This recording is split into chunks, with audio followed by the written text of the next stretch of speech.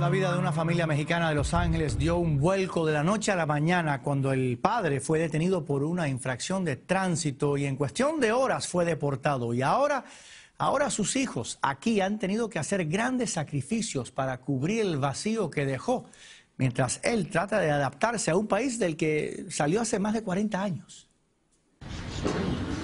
Y no porque no recibí una luz, pues me pararon. Las lágrimas de un padre llorando por su familia. Una familia separada cuando José Álvarez fue deportado.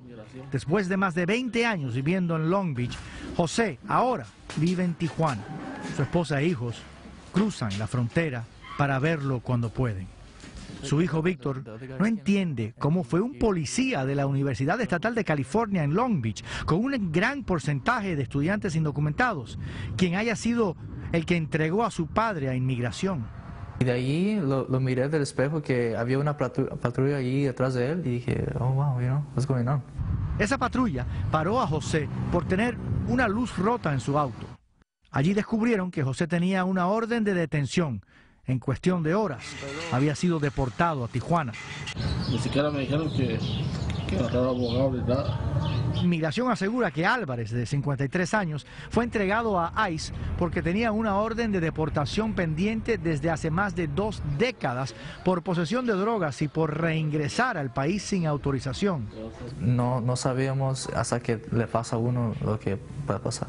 Un error que no le impidió formar una familia con seis hijos, todos nacidos en Estados Unidos. Incluso uno de ellos sirvió en las Fuerzas Armadas.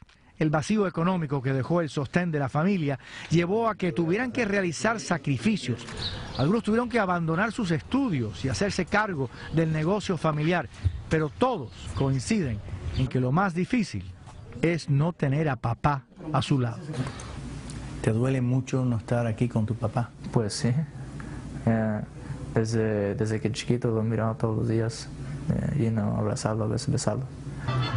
Víctor dice que su historia se parece a la de millones que viven en este país en busca de un mejor futuro y terminan separados. La Oficina de Inmigración y Aduanas dijo a Telemundo que José Álvarez estaba en la categoría considerada prioridad para deportación, según el Departamento de Seguridad Nacional. Hola, queridos internautas de YouTube. ¿Te gustó el noticiero? Suscríbete a nuestro canal, así podrás seguirnos viendo haz clic en este botón de suscribir y no tendrás que ver videos de mala calidad en otros canales nunca más. También puedes entrar a telemundo.com y ver nuestros reportajes. ¿Qué esperas? Suscríbete.